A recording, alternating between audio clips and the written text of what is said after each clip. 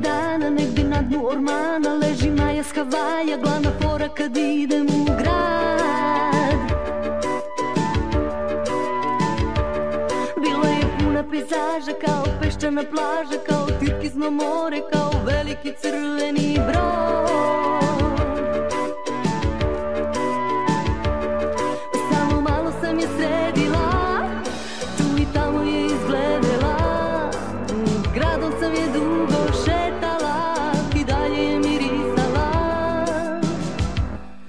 Deo šarenog sveta, davna 35 Tamne cvike za sunce, samo palme i lišće i hlad Cveće duginih boja, vreme filmskih heroja Mnogo belih korala, vlati podvodnih trava sa dna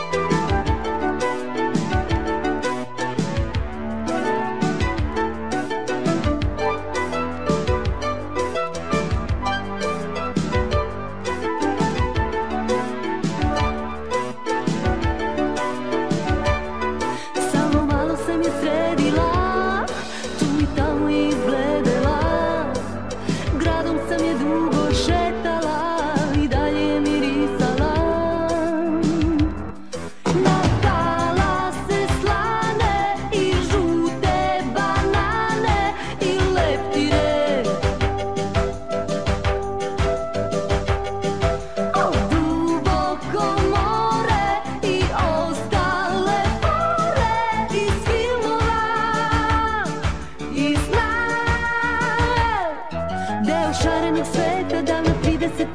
Tamne cvike za sunce, samo palme i lišće i hlad